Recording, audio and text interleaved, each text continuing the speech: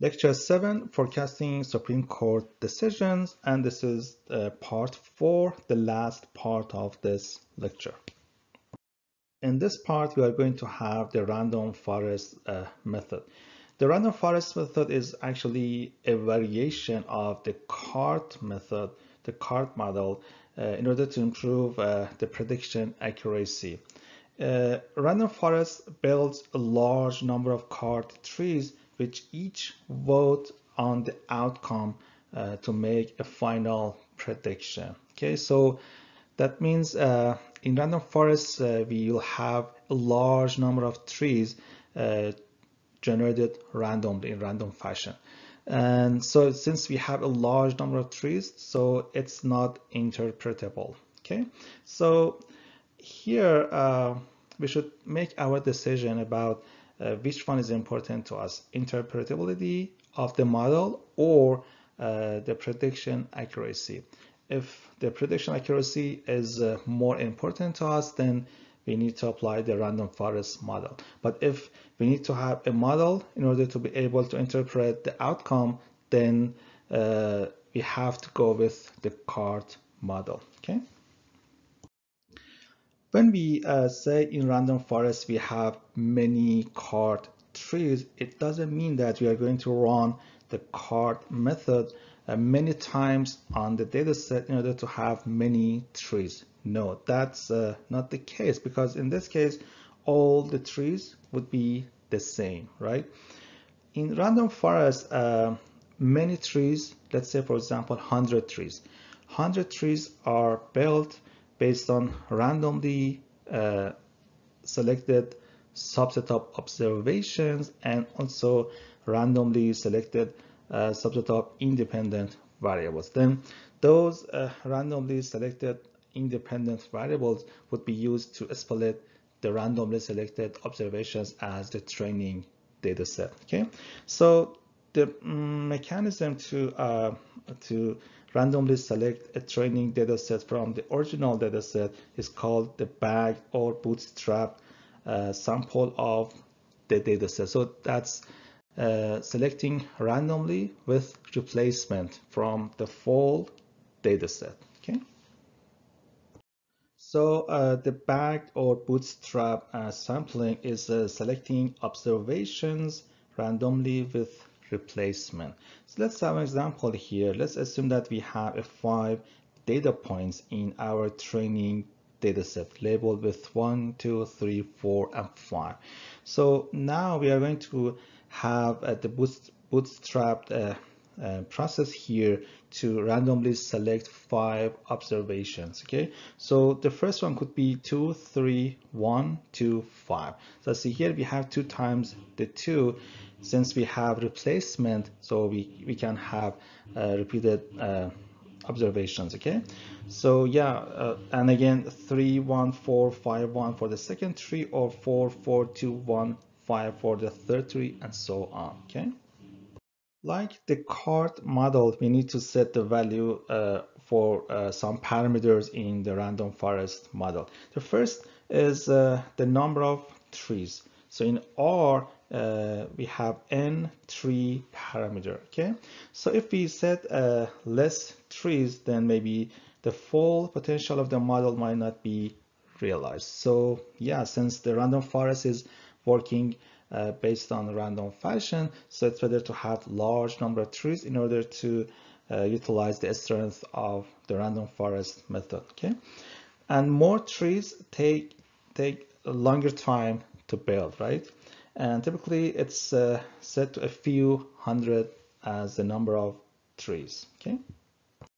The second parameter here is the minimum number of observations in a subset and in R it's uh, the node size parameter okay? So the good news here is uh, uh, random forest is less sensitive to parameters. So usually we can use the default parameters and it's totally okay okay? And but if we want to uh, test different parameter settings we can apply the same approach of uh, uh, validation which we use for the CART model. Okay, so now let's uh, build a random forest model in R for our data set. In R, we can use the random forest function to build a random forest uh, model. So same as uh, uh, the CART and regression models, first we have the dependent variable here and the tilde sign and then the list of uh, independent variables separated by the plus sign. And the data would be a Stevens train. The parameter of ntree here, we have considered uh, 200 uh, as the number of trees and the node size as 15. Okay. After building the model, uh, we can uh, predict uh, the outcome on the tests data set. So we call this as Stevens predict uh, forest. And so the predict function here, Stevens forest, our model, and the new data as a Stevens test. So since uh, uh, here we have a category called outcome uh, variable or dependent variable, we need to build a table uh, as uh, our predictions and the true value of uh, the dependent variable. Okay, so if we do that, we will have this outcome in R, and now we can uh, calculate the accuracy of the model. So here the accuracy would be uh, the true predictions which would be 45 plus 73 over the total number of observations or 45 plus 73 plus 20 plus 32 and then it would be 0 0.6994 so yeah it's pretty uh, good uh, accuracy for our model okay Okay, after having the details of uh, the CART and random forest model, let's get back to the Martin's model in our case study. So uh, Martin uh, used 628 previous uh, Supreme Court cases occurred between 1994 uh, and 2001. Okay, and then he uh, made predictions for 68 cases that would be decided in uh, October 2002 term. So before it started. Okay. Martin and his colleagues uh, recruited 83 legal experts in order to form uh, an expert panel to uh, make predictions over those cases and in order to be able to compare uh, the prediction results of uh, the statistical model, I mean the CART model, against the expert panel. Okay, so um, 71 uh, of academics and 12 uh, attorneys and also and from these uh, experts 38 previously clerked for a Supreme Court uh, justice and 33 were chaired professors and 5 were current or former law school deans okay? So uh, experts only ask to predict within their area of expertise okay? So more than one expert to each case and also they were allowed to consider any source of information but not allowed to communicate with each other regarding their predictions okay and here we have the results for the 68 cases in October 2002. So as we hear the overall case predictions for the model model's accuracy, it was 75%, while for the experts accuracy, it was 59%. As you see here, the model is outperform, outperforming uh, the expert panel, okay? And for the individual justice predictions, uh, the model's accuracy is 67%, uh, but the experts accuracy is 68. So individual, we can say, okay, experts are uh, working slightly better than uh, the model, but in general, in overall, the model is out outperforming the expert panel. Okay. Here we have the individual justice predictions for the nine justices we have in the Supreme Court. And for example, here for the first one, O'Connor, you see that how is the accuracy of the model against uh, the experts, right? and also here.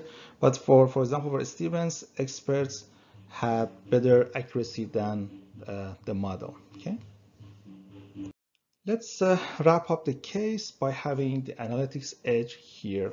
Uh, predicting Supreme Court decisions is very valuable to firms, uh, politicians, and also non-governmental organizations, depending the case, because they can be prepared for future, right? They can forecast uh, the outcome, and based on that, they can plan for future.